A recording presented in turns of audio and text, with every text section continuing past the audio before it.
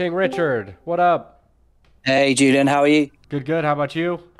Yeah, very well, thank you. Dope. Larry, how's it Hello going? there.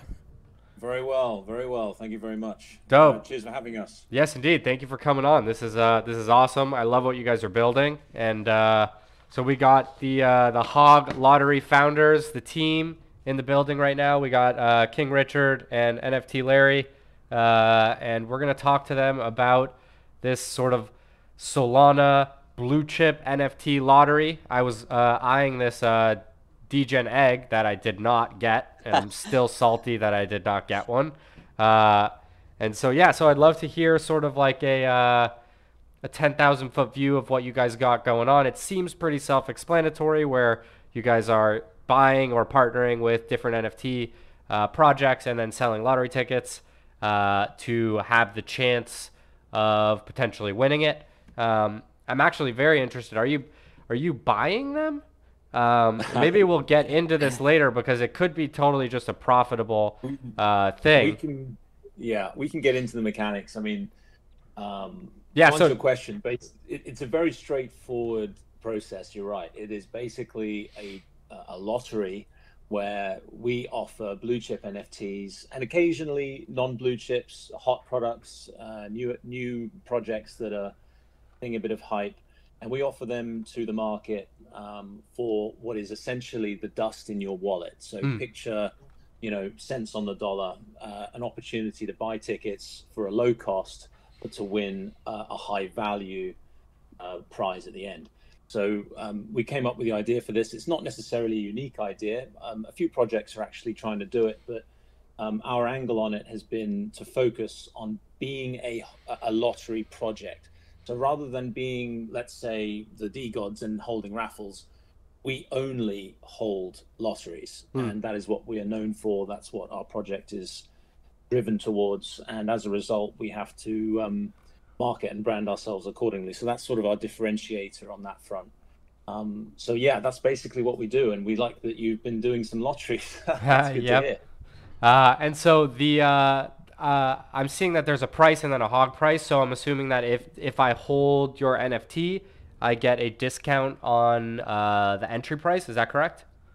Yeah, absolutely. Um, so yeah, th th yeah, that's exactly how um, the process works. The mechanics works. We wanted to give value to our hog holders, the people who have invested in us, bought our NFT, um, and to do that, we we don't only give them a fifty percent discount on their ticket price, so uh, 0.1 sol rather than 0.2, and, and and that varies depending on the lottery and and the um, supply of tickets, but also a pre-sale access as well.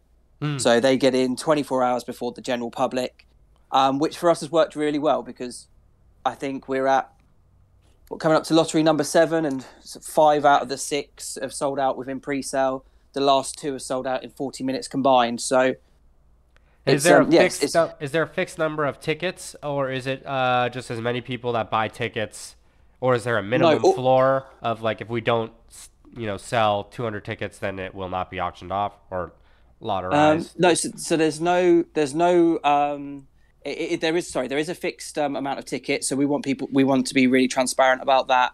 Um, let people know before they're buying a ticket, kind of what their odds are. What is my chances of winning this? It's not, it's not infinite like some of the other raffles that are out there, um, and working out back from that. Um, in answer to your question around, is there kind of a floor of how many tickets we got to sell? Luckily, we haven't come to that point yet because um, we, we've been able to sell out the, the quantity of tickets that we put for, for each lottery so far, which has been great. Um, I- I think if we did get to that point, we'd have to have a conversation. And obviously, for us, it's kind of well, maybe we can have a lost leader project here and there, but ultimately, we've got to break even and and, uh, and onwards, really.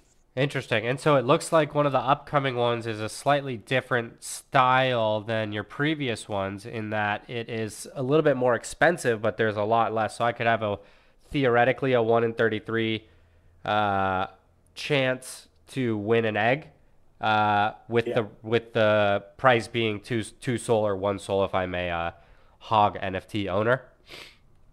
That's correct. So, so basically, we're calling this the high roller lottery, the high roller hog lottery. And Interesting. the idea was given to us. It was, it was given to us really by a few of the community members who said, "Look, um, I like the idea that I can buy uh, a lottery ticket for the dust in my wallet and win this high value NFT.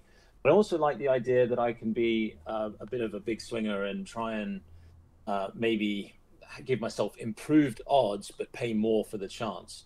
So interesting. In this case, we've got yeah, it's it's interesting. I mean, everyone's. I mean, I, look, uh, you know the NFT space.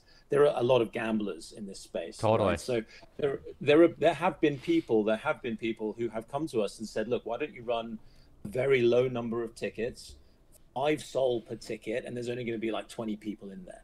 Now, this is an idea that we haven't quite gone that far yet. So what we've done as a sort of hybrid is we've started with this uh, Degen Ape uh, kindergarten egg, which we're going to have on Friday, hopefully, where, like you say, 33 tickets, one SOL per ticket. And your, your chances are one in 33 if you buy a ticket, yes, which is quite good odds, obviously. Um, and if you buy several, your odds are improved. But it's the fact that it's more of a gamble, I suppose. You, you're, right. you're paying more for the right to enter the that lottery and it seems to already be getting some traction in, in our community. So, um, and from people outside of it as well who have joined our community since the announcement. So it's really good to see, and and we are willing to try these things. We're not afraid to try them, and we want to be a bit of a leader in the space if we can be. Very interesting. And what is the secondary price of a Hog Lottery NFT at the moment? Is it still 0.5, uh, which is, uh, I guess on this page it says uh, 0.5 to mint it? Um, yeah, so we're not on the secondary yet, so we're we're still um, in the mint, uh, uh, so to speak. Um, we're still embracing this sort of slow mint. We, uh, Got it. We'll be completely honest. We sort of started as really, I guess, a PFP project, kind of looking, sort of seeking for utility along the way. And then at the end of February, we rebranded to the Hog Lottery, and, and that's where we've really sort of our focus, our dedication is as a team now. We feel we've got an identity of, for the for the project and for the hogs. Um, we've got obviously utility for our hog holders and and our new community members that are joined. So yeah, 0.5 SOL to, to, to mint the hog, which gives you those benefits we talked about. And so I don't know if this is uh, if we're breaking the uh, or, or, if I'm leaking alpha or uh, this is intended tokenomics here, but if you do plan on uh, joining this Degen egg and the price is two SOL or if you own a hog, it's one SOL, and the mint of a hog is 0.5 SOL. Uh, it would no brainer, right? It would make uh, yeah, it would be a no brainer to uh, pick up one of those NFTs and save yourself 0.5. So there's your exactly. alpha for today. We like to we like to think that it, it pays for itself uh, pretty quickly in actual fact. But I mean, going back to the point that Richard was just making there, uh, also about the slow mint. I mean, we we are we come from a background of running startups and uh, the interesting thing about the nft space when you compare it with a in real life startup is that there's this uh, rush to the finish line it feels like. People are in a, a mad rush to see immediate uh, sellouts or see Get rich quick. yep. Yeah. That's and, how and, it is. and and that is how it is but you know what we what we've coming from that background we know that the, the best way to deliver viability and the best way to deliver um, a sustainable business is to grow it by getting market feedback by listening to your customers by trying things and by willing to being willing to fail at some things you know by willing to try a product or a service that doesn't work and then sort of reacting and, and growing from that. Oh totally. And, lean uh, startup. We talk about this all the time on the stream. Exactly is it takes a, it takes a long time to build build something and pivot and understand where the product market fit is and you never come out with some vision that just is magically correct it's always an iterative process of exactly. failing and learning and tweaking and and then eventually you get there and that's sort of at odds with the ethos of this get rich quick someone just put the, exactly. the microwave generation which is actually a really interesting way to put it where like a lot of these people want instant satisfaction uh, instant satisfaction and uh, they just want to pop it in the microwave and have it done. But the thing is, is that sometimes you got to cook a steak on the grill, and that's not going to be in the microwave. If you want good food, it takes time, it takes effort, it takes a lot of energy. Um, and so I, I, agree with what yeah. you guys are saying completely in terms of, um, and it's actually just to talk on a broader point. I think this is maybe why uh, the SEC in the United States doesn't allow companies that are not at a certain point to be publicly traded companies because it does take a lot of time to build and you have to change sometimes, and your revenue fluctuates. And you, if you have sort of unsophisticated investors uh, dictating on every single piece of news the new price of the company, it gets a little bit like chaotic. Um, and yeah. so yeah. you need some sort of stability, uh, which is why the stock market is like, you know, the top X percent of companies and not just every company being able to issue a security and uh, get it going right, right away. That's right. And I think that actually on that point, you know, we this is a very uh, new space. Obviously, it's a developing space. The NFT market, the Solana NFT market, is as new as you can get, really. Yep. Uh, and you know that we're not even at teenager stage yet. You know, and and I think as time goes by, we will see more appreciation for the teams and the people that are willing to grow a business, or at least to take that approach, as opposed to try and offer or promise the world for something that really isn't achievable. I mean, how many projects, really good projects that have sold out, now pretty much either gone to zero or the slow rug is in play simply because yeah. the team really was only interested in the sellout. That's all they're interested in. they weren't interested in it being a business. They weren't interested in returning real value at the time. It's much harder to do that than it is to uh, sell a bunch of hype to people. And I think Absolutely. being, if we're completely honest, um, I think our whole outlook on this would have been different if we'd have sold out in five minutes as well. I, yeah. I'm not sure we would be exactly where we are today with what we think is a sustainable business model, like like Larry said, and offering true value to, to not only our own community but sort of the wider ecosystem. If we had have sold our PFP out in five minutes. Oh, 100%. I, I, you don't, don't learn from we... successes. That's that's at least my philosophy. Absolutely. Is like a lot of the people who made a website and it went viral the next day, it's like I'm not going to take their advice because they don't they didn't have to struggle through how to get users or how to do this and that. They just put up something and it just went crazy. And it's like how much did you actually learn from the that viral aspect versus uh, a team like you guys where maybe it didn't go right initially and then you have to go have tough conversations and think about it and then you know you're in the shower and you come up with this idea and you build it and then it keeps going and it's like you learn a lot more from the failures um, than you do from just a, like an instant success in my opinion. That's that's 100% we've, we've, actually come up with I mean, we've come up with so many ideas to, to generate uh, the interest in the product. I mean another example which we're going to release details of soon so i think i can explain a bit of uh, information around it we we've been running uh, something called the Hoggerary collection uh, since about December time.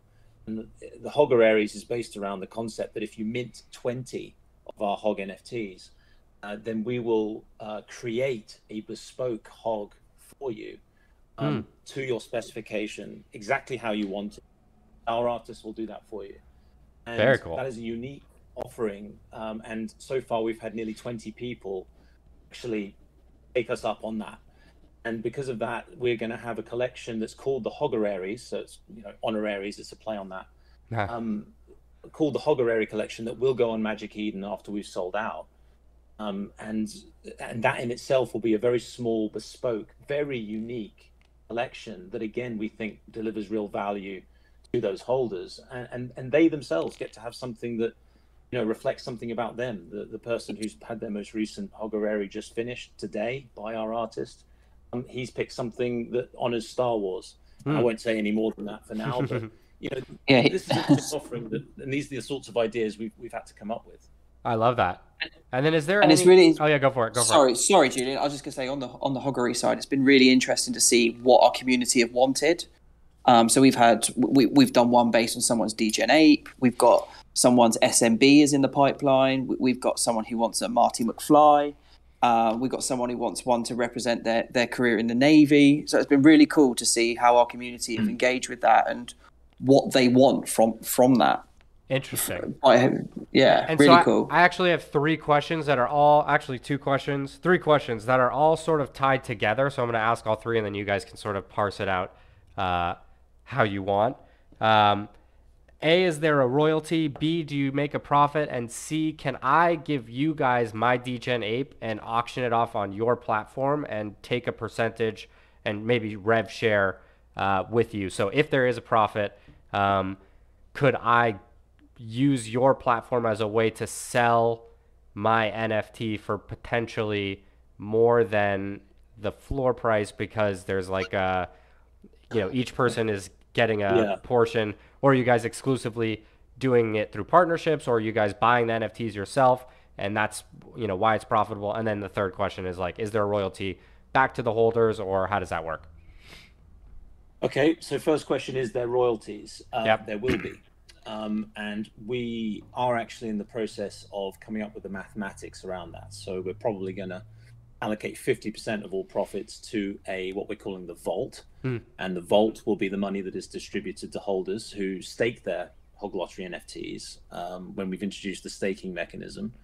And um, that's not just going to be from lotteries, but we're going to launch games on the website. We're in active conversations with um, uh, with some developers and some uh, UI um, specialists who are going to help us with that. And um, we're really excited about that because I think that's going to be quite profitable. I think it's a proven it's a proven moneymaker in the space to have betting games on your on your Yep. site. So um, that, like we were saying, everyone's a gambler. It seems in the NFT space uh, at the moment. So we, we've got that in the pipeline, and the royalty share is coming. Therefore, so that's the answer to the first question. Yep. Um, the other the other side of it was whether we make profit. I don't know if you want to answer that, Richard, just so that it doesn't sound like I'm talking the whole time. yeah yeah um yeah obviously uh, and as we discussed already that this is a business for us this isn't just a, a quick flip and, and, and a slow rug this is a, a business so for all businesses to be sustainable we have to, to make profit Totally. um, we run our first two lotteries as um, lost leaders Hmm. because we wanted to basically prove the concept, see if there, there was the demand there, etc., and, and make sure we had sort of really to, to test everything around it. Really, like I say, the the concept, the demand, the technology, etc. Um, since then, we had then had um, a, a a break even lottery, and then for the last couple, we've been able to make a little bit of profit. But um, and one of your other questions was around the NFTs. We've been recycling that profit at the moment back into the business because we are buying the NFTs ourselves. Hmm. So we're we're scouring once we've come up with the idea of what we're looking for or what's the next hype. Um, we've done the Cets on Creck one recently. We knew that was a hype. We have the fun job, which is quite fun, although we don't get to keep it, but quite fun job of scouring through Magic Eden, etc., and, and looking to snipe stuff. So kind of for for me, it scratches that itch of having to buy NFTs without spending my own money, Right. which is nice. Yeah. but, but yeah, so yes, we will be making profit. Um, but like I say, currently it's it's all being recycled back into the business. Um, when we announce, um, as Larry was saying, that how the profit share works and the percentage that we'll use, and we said that'd probably be after lottery ten because we'll have a really good idea of how successful this can be going forward. Um, we'll try and be as transparent as possible about where our allocation of money goes. I think that's that's fair for the community. Um, we, we we are very um, conscious of that. There's that line between um, taking profit as a team and being paid as a team, which you, you, you you've got to be if you're running a business, but also looking like a cash grab situation. So, Totally. it, and especially in this space, um, if you, if you're if you're seen as a cash grab, the FUD will come in quickly, and and and sometimes it's stuff's Yeah. hard to come back from. Oh yeah, and it's Um, actually uh, one of the ideas that I had, uh, just sort of as you guys were talking, is you're you're totally going about this the right way. Um, but it would potentially be interesting. This ties into one of the other questions I asked. Uh, is to turn into somewhat of a marketplace. So like once you guys get a certain critical mass of users, uh, it could be interesting to let people uh, list their own, and then you can have you would basically have an explosion of um potential lotteries. Whether that's a good or a bad thing, I don't know, because then it maybe dilutes the the um, activity, which could be a bad thing. But I'm just sort of thinking like five steps ahead already, like uh, just sort of how my brain goes about it. Um, Honestly, it's you're, We've- you're we've been there, haven't we? Yeah. Yeah. you're talking our language, definitely. That's that's a, that's a roadmap item, and it is actually we think the future of the hog lottery. In the end, it's actually going to be a place where, as an alternative to listing on Magic Eden and having to pay ten percent fees, you could do it through uh, the hog lottery and guarantee to sell it because Right. we basically sell out every time at least to an extent right now we are well fully we are right now but we hope to in future as well um, you know, sell out guaranteed, but then you we we would charge less of a percent instead of what uh, Magic Right. Eden or some other marketplace would. Yeah, that could be super Yes, interesting. It would be, Yeah. wouldn't it? And it would be unique in, in the sense that um, no one else is doing it. Yeah, we're talking about it now. Anyone can do it tomorrow if they want to build it. Right. But um, we're looking to build our critical mass, and hopefully we get uh, to take advantage of our first mover status. Love that. And I think one of the nice things for us to be, if we did go down that route, is we can be super selective about what we put on there and make it super exclusive. Like, it, not not anyone can, especially as we start. And Right. So you have sort of a, a filtering system, so Yeah. it's not just like Yeah. dust getting added But to. Uh, exactly, yeah. You can you can you can effectively, I guess, apply to be to to. And I'm this is me thinking five steps ahead of Yeah. how this would work already. Um, but yeah, you could sort of apply to be, uh, or to, to auction or, or, or lottery off, should we say, your own NFT. And yeah, we're probably not going to take a Solamander, but we will look at a Mindfolk, for example. So we can be a bit selective about what what comes in. We, I, I think we've we've we've targeted ourselves or, uh, into sort of Solana hype NFTs alongside the established blue chips. So I think we need to keep that integrity of, of the brand and what we're about, and people recognize us for, for good projects. Um, we've got a good history with that so far. We our, our second lottery. I, I don't know if you saw on our, our website, Julian. Our second lottery was um, a, a DeGod and Yeah. three SOL, and there was Not 250 tickets.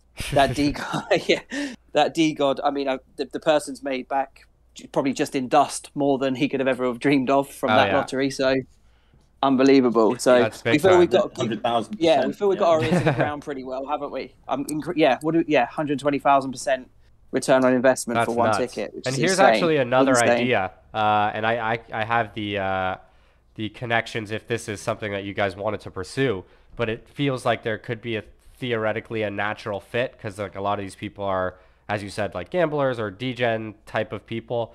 Like you could almost do a partnership with like a degen coin flip, where instead of buying uh, the ticket, I could flip for it essentially, um, or maybe it lets me get two tickets instead of one, Okay, or I yeah. can just do a heads or good. tails.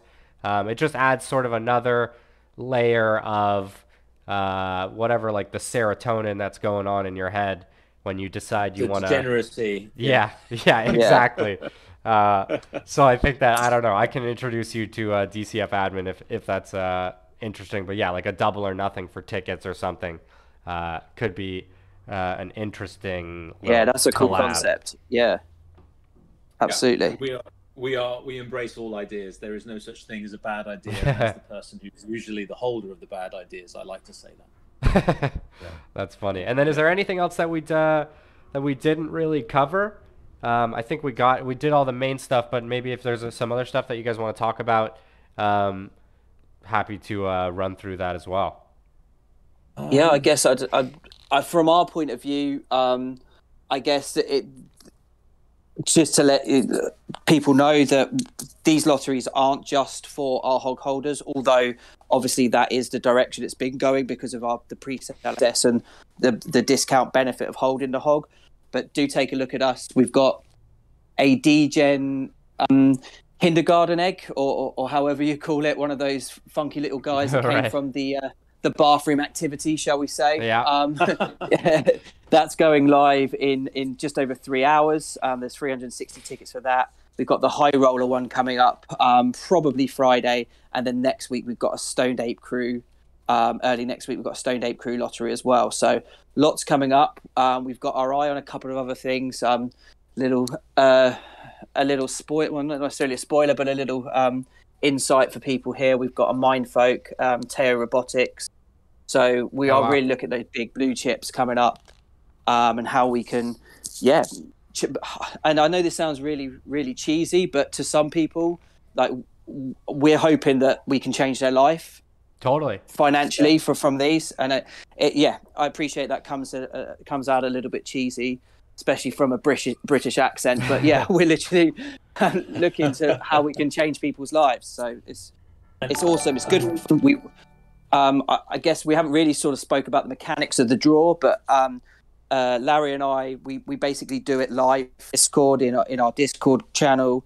Um, we have um, kind of like a, a well, we have a random number generator wheel. Uh, Oh, nice. We'll present. We we we sometimes um, yeah, we sometimes throw in just random prizes like tickets for the next lottery, just ad hoc when we feel like it. Um, If you ever want to uh, do it live on everyone's interacting in stream. We're here. We're ready to Oh, do okay. it. Oh yeah, so we did the eighty-nine thousand dollars Solana giveaway for uh, Degen Coin Flip. So I'm happy to uh, host one of these in the future where we can get uh, get everyone in here and they can uh, we can yeah just do it live. I think that could be cool. Yeah, that'd be awesome. Yeah, that'd be really thing. cool. If you guys Yeah. want to stay sort of anonymous or to a certain degree, I'm already in front of the camera, so uh, happy to uh, sort of host that for you guys.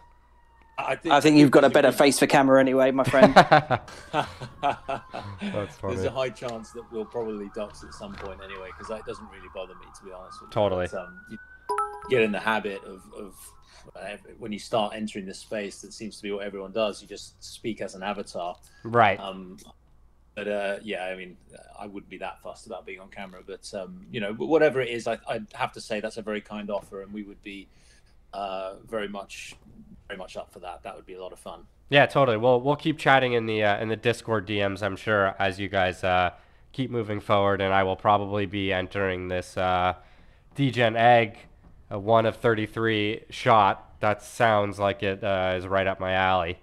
Um, I've lost awesome. many more Solana on worse value propositions than that. So, Glad to hear you say it. Glad to hear you say it. Great. well, okay. well, we- Whoa, I, you ready for you ready for a crazy question? Go for it. What if I buy all 33 tickets? well, So- if you can, Ooh. be quick. Yeah. Okay, so there's a competition.